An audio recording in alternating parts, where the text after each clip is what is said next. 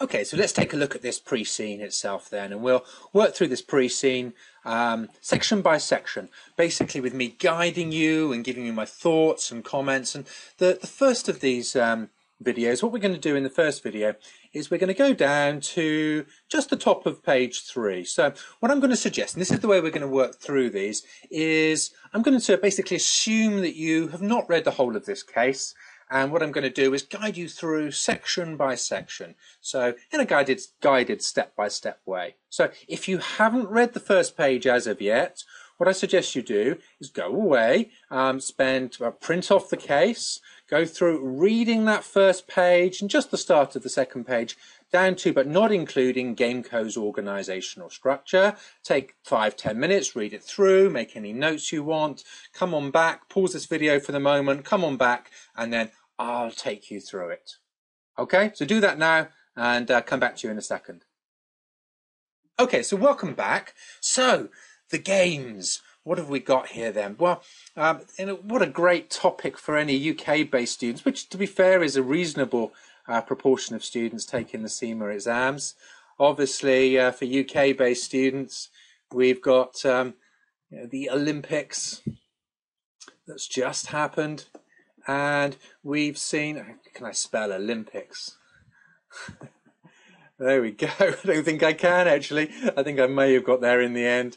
Okay, so we've got the Olympics that's just happened, and what we've seen is um, we've basically gone through the last seven or eight years of seeing us winning the games in the first place through to the planning of the stadia, building those stadia, some of the issues over building, and particularly all the complaints about funding, where was all the money coming from, and the fact that it took um, it took what was it about? It was cost about ten billion pounds in the end. The original budget was something like one to two billion, so it went wildly over costs, or from the original budget at least. Although in actual fact, once they'd revised the budget, they stuck to that revised budget. To be fair, um, and then we had the games itself. You may have been lucky enough to go to the games if you were based in the UK. I went to a couple of events myself. I went to see the rowing, and I went to um, one of the football games, and it was great fun and the whole atmosphere, and it was, you know, fantastic event. And now we've got issues over legacy. So if you're a UK based student and you've seen all of that, real great advantage to you actually, because you've just got some general knowledge. Now, what I wouldn't say for for anyone else is basically don't do significant new research on um, things like the Olympics, if I can spell it, here we go, um, or other events like the Commonwealth Games and so on. Um, now, when you get to T4 and Top CIMA, you must do that. You are supposed to really know in depth the industry and have real life industry examples up your sleeve.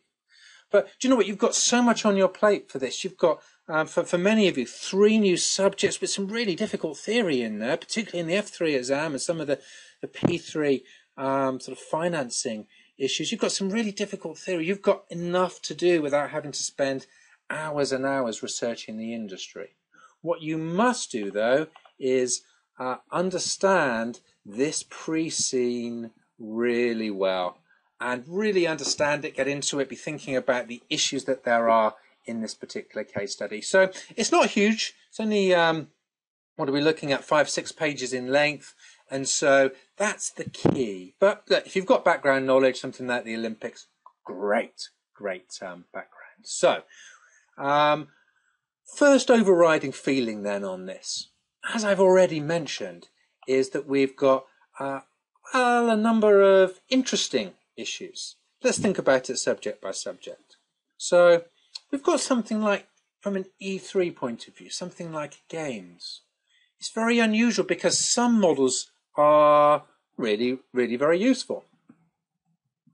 So we might think about something like SWOT analysis or mission and values, something like um, pest analysis, something like uh, stakeholder analysis, which become very, very useful models in this kind of um, Olympic Games type situation. But we've got some problems. What about models such as Porter's Five Forces, which is all about industry competitiveness? Well, we're not we're not competing here. that's going to be a very funny model in this particular case. Yes, I know we have suppliers, we might have some supplier power.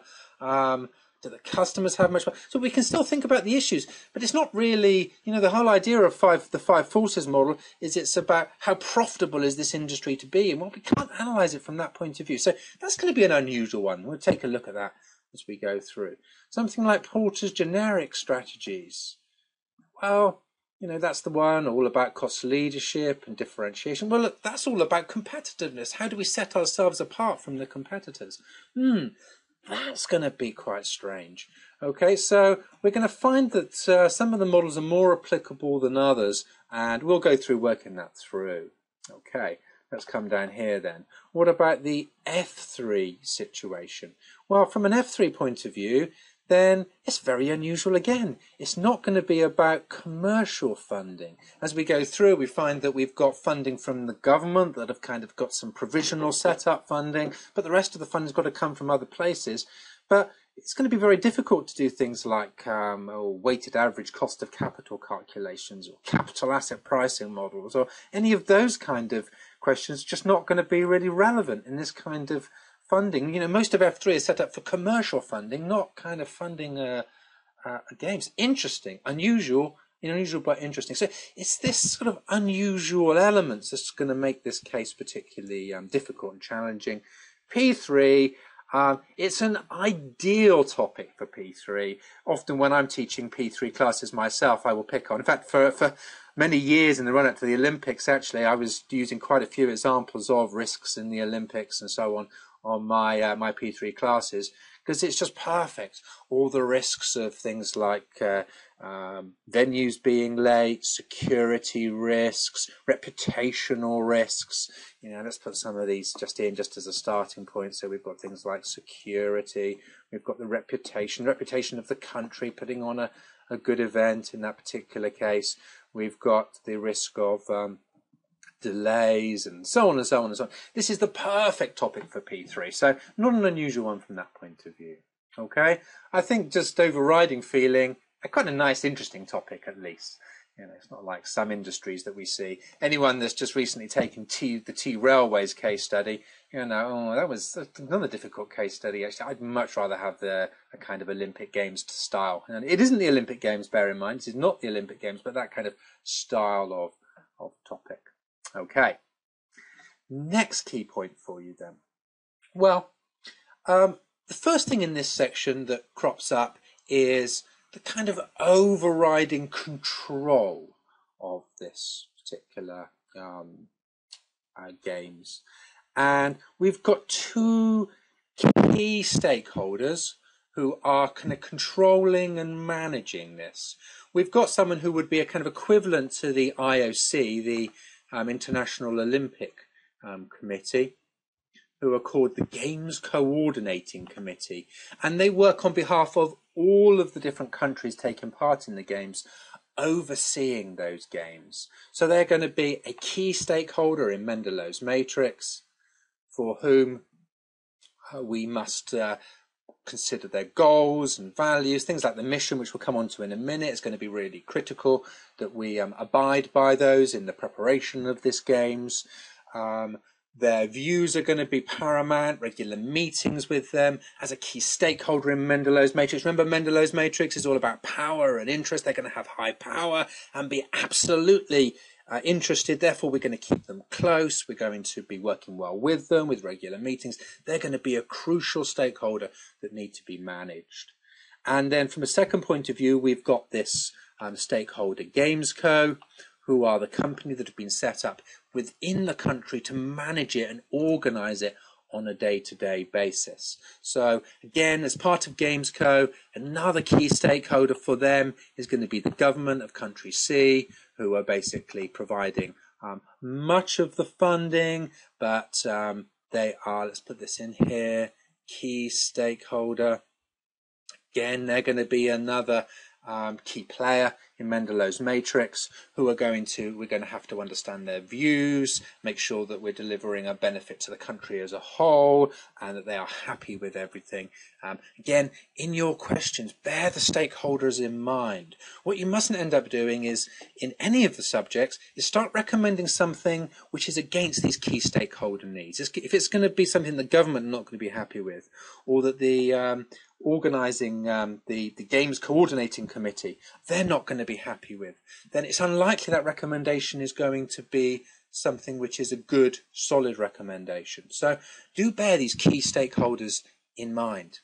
Okay, of course, another key stakeholder while we're talking about stakeholders, again in Mendelow's matrix, um, you know, one of the purpose of this project is for the prosperity of country C and the whole area of which the games will take place. So another important stakeholder are the people of country C. So that we are producing a games that will benefit them as well. Okay, so we have this company Gamesco controlling and managing Again, if we're just thinking from a P3 point of view, they are going to be the key control. If thinking E3, this is going to be about um, the overriding organization in the organizational structure. So, um, yeah, really important. So these two key high level controlling elements, um, controlling, managing, we've got the games coordinating committee, we've got the, the day-to-day games co-management. Next key thing I want to pick out from this section, this section is the mission statement. So we've got two mission statements here. The first of these is the Games Coordinating Committee's mission statement. Now this is a mission statement for all games, not just this one coming up. This is for all games for the future going forward. And then a little bit lower down, we've got the mission statement for Gamesco, which includes the missions of C of GCC. So that's kind of part of it with a little bit more focused on this particular um, this particular case. Now remember the mission is about the overriding purpose. Why are we in business? What are we doing uh, here? What's our overriding purpose? And crucially in this particular case, it says that this is untouchable. Now, this is going to be very important in your case because anything that's in this mission statement you must consider as part of your questions. Let me give you an example. The first of these is that we must encourage and promote ethical competition in sport and achieve high levels of sustainability. So both of these about ethics and CSR. Now, if you see an issue that might be compromising on ethics or compromising on CSR and sustainability, then you need to be saying this is inconsistent with the mission of GCC, and as such, it is not something we should be considering, or it's, we should be rejecting this as a proposal, or something along those lines. And so, one, one thing I, I start to find is is that um, you'll probably find this is is you'll read through the games, you'll work through our videos, and you'll get a really good in-depth analysis of the case.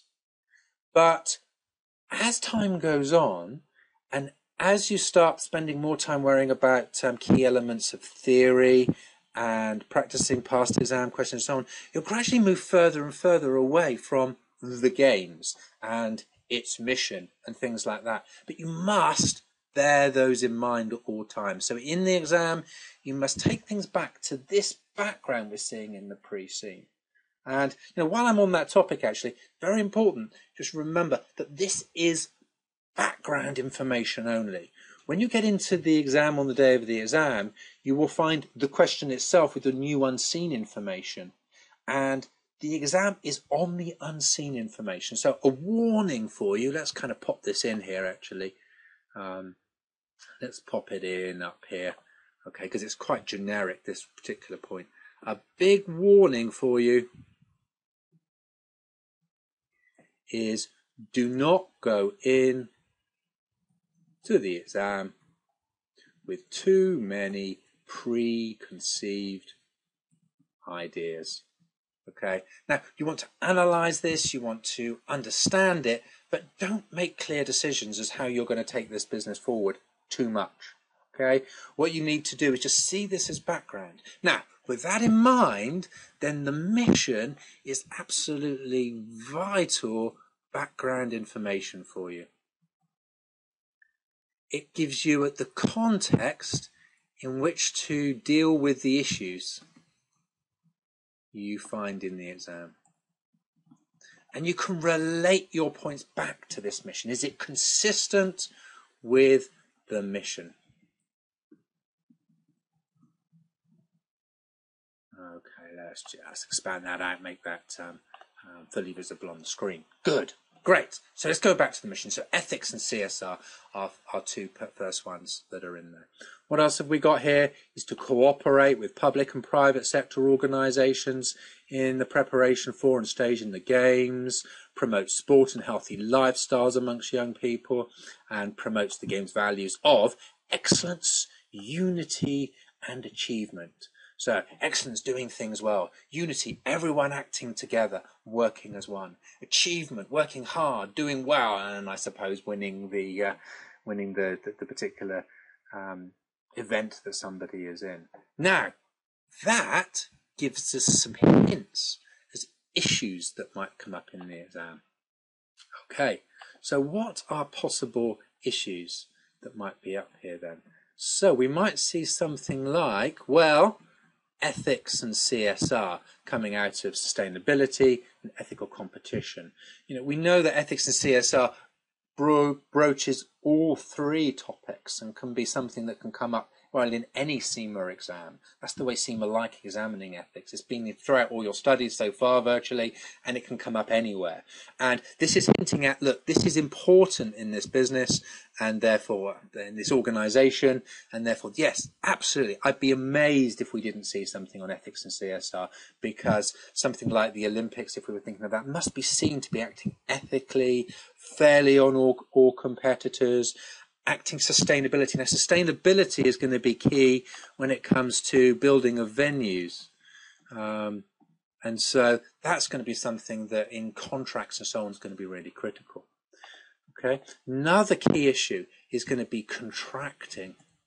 So particularly linking through to the public and private sector organisations, I'd be stunned if somewhere in some of the different topics we didn't see issues around contracting over uh, venues, relationships with suppliers, um, the the whole production of the games. That's going to be important, and again, important we cooperate with those public and private sector organisations as part of that.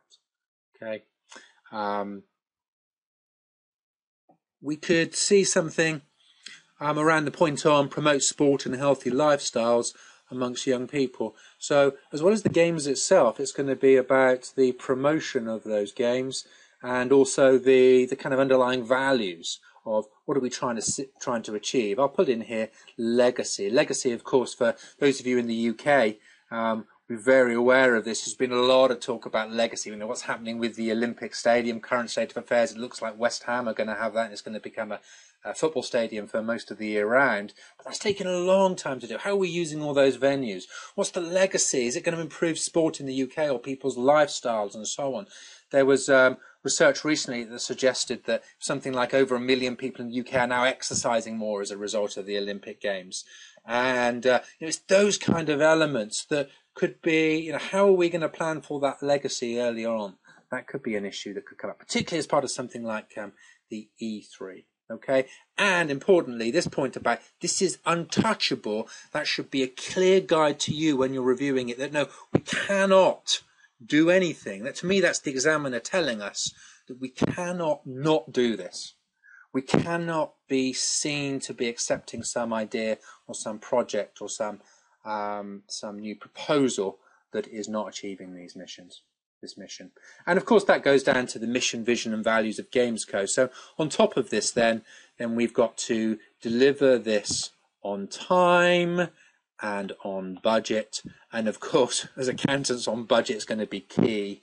Um, that could be part of all three of the different papers. It's going to be a risk in P3. Actually, on time is going to be a key risk in P3. Um, let's put some of these points in. So uh, let's put key risk there. This is going to be a key risk just there. So we've got risks, we've got on budget being an F3 element.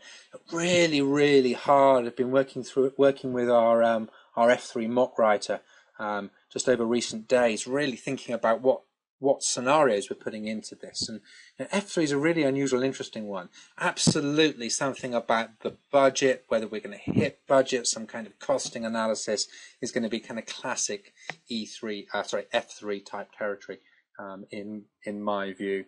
Um, okay, E3, just the whole process of the strategy, managing the project, and so on, could easily come into on time and on budget as well. So, um, okay, risk and of course P3 is all about control. Let's put this in here too.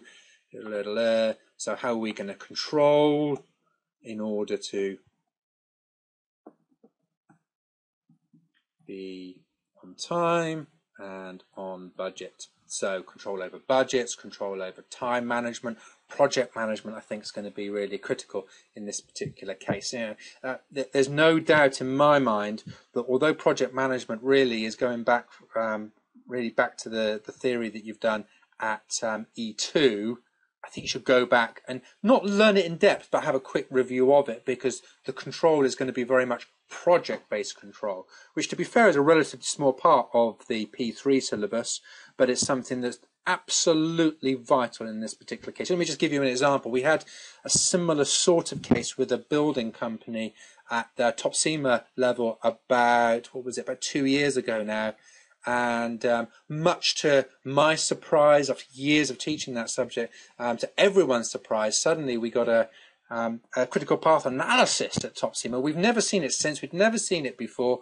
Now, I doubt you'll see it in any of your topics here, but just being a reminder of what that is, I think is going to be useful. So project control, um, going back to your, your E2, is going to be something to, to review, to read through. Don't go um, read learning and, and learning how to do um, critical path analysis and so on, but just be aware of those topics. Okay, so um, so we have a specific mission then for Gamesco, which is also in accordance with the mission of uh, GCC.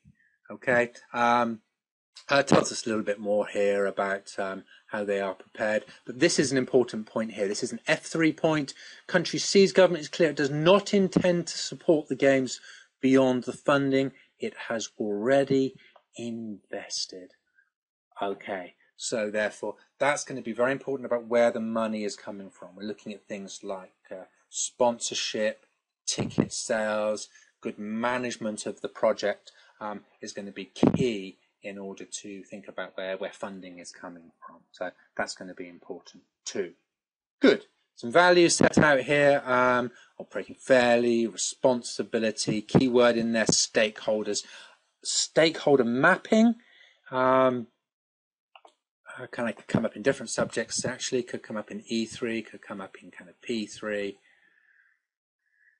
Let's get those in there.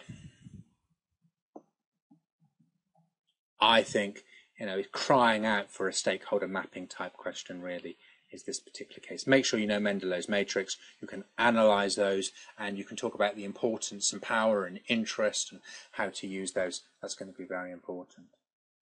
Good. So that is my overview of the first page, and that's the end of video one. And for some of you, um, you know, the remaining videos are all part of our, our paid for video series. And, you know, those people that are going to uh, buy that, and I hope you've benefited from this video and will think, yeah, it's going to be worth my while actually getting the, the benefit of the, the subsequent videos. Um, so, and I hope that's going to be many of you. But for those of you that it isn't, basically my guidance to you now is to go through doing an analysis, much in the way that uh, that I've been doing this, doing your own analysis of what each elements mean for the strategy for each of the different subjects. Okay.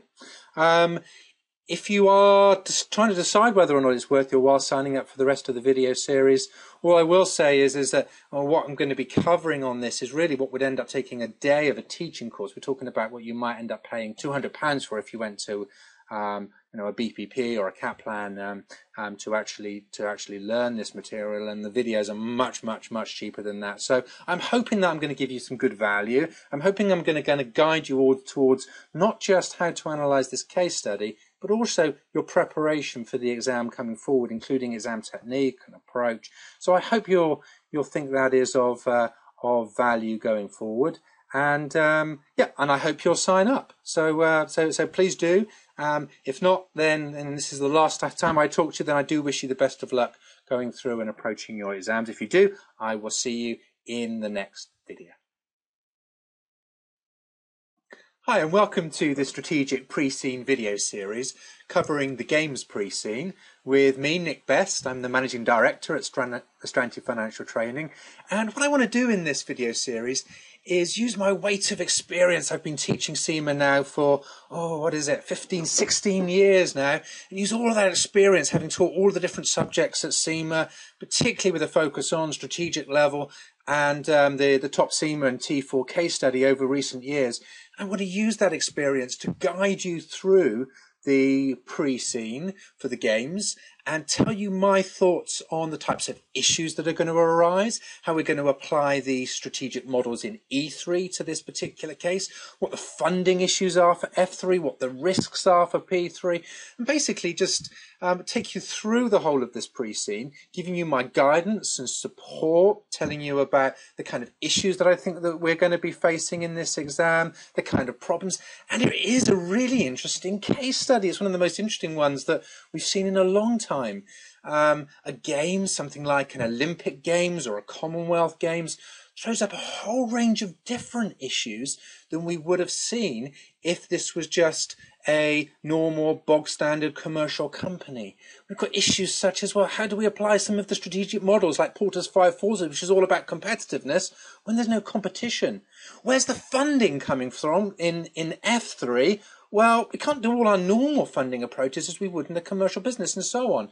So there are some really unusual, it's an unusual case and there are some unusual issues. And what I want to do in this video series is take you through the, the issues as I see them and really help guide you in terms of really understanding this pre-seen to take you through towards your exam. So there's a whole range of different um, videos in this series. The first of these videos is a basic run through the whole of the pre-seen, doing a full strategic review. There's going to be a bit of a focus on E3 and the strategic models, but I'm going to cover all the subjects as I go through doing that, talking about some of the key issues, um, how we might apply some of the, the various different models and the various different subjects, and as I say, with a particular focus on some of the, uh, the E3 models, but with relevance to all the different subjects as we go through there. What we're then going to do is have a specific look at E3. I'm going to work through my full strategic analysis. What I should say actually is that um, anyone that doesn't buy the full video series, you can get my full strategic analysis as a uh, PDF download um, from our website at astranti.com. So do go and get that whether or not you buy the full series or not. Um, you know, that's a really useful thing to you, particularly in this exam because some of the models in E3 are relevant and some aren't. And it's important you're really aware of that. So I'm going to go through my full strategic analysis, explaining to you not just how we apply the models to um, to this particular case study, but I'm going to do a little review of the different models as well. So hopefully that'll be a good bit of revision for you too. I'm then going to do a financial analysis. Um, we've got some numbers at the end of this case we've got a budget for the um, delivery of the games, but I'm also going to, which I want to go through with you, but I'm also going to just analyse the financial elements of the exam and think about the whole of this paper from a funding and financing point of view. There's no doubt that um, something like the games is very unusual from a financing and funding point of view compared to most previous case studies. So in what way is that unusual? What can we pull out from the case in relation to that, in addition to doing um, a financial analysis of the budget for the games? Okay, now one subject that I think that this case is really ideal for is risk analysis. And what we do in our P3 video is look at all the possible risks that are likely to be faced in this exam. Again, with a focus on what type of subjects and topics are going to come up in P3. But um, yeah, what are the key risks? How can we apply risk analysis to this particular case study? I then want to just quickly summarize what I think are the most likely issues, the most likely topics that are going to come up in the exam. Uh, a couple of reasons for this. Firstly, this will help to focus you on your study, to focus on the key areas, but it will also help you to prepare so you can actually um, prepare possible questions that will come up. And I'm going to do that for all the three different subjects. So we'll go through each of the subjects looking at the most likely issues. To be honest with you, I will be doing that as I go through all of those different areas. I'll be thinking about that all the way through, but I just want to summarize that in one video for you. Um, finally, I'm going to give you a full strategic level guide, my summary of what the examiner expects at this level. It's worth bearing in mind that there are much greater expectations on you as a student at strategic level compared to at managerial. You are expected to analyze in more depth, to explain points in a different way from that what you were doing in strategic level. And many students really don't grasp that and don't understand that, particularly when I'm um, I'm working with students that have failed. I'm working with someone at the moment who's um, who's failed. I think it was eight times. He was telling me. When you've got someone that's in that kind of position, what are the key issues? Where are they missing out? What's um, one of the key issues to understand? What is it at strategic level? That um, that people are not getting? What are the expectations, and why often do people fail? The idea being is that then you can actually make sure that you um, don't fall into those traps. I'm going to give you a brief guide to exam technique at this particular level, um, particularly focus on writing style and approach and the way you approach and plan and prepare for questions. Um, and finish that up with a guide to how you go about preparing as your approach towards the exam.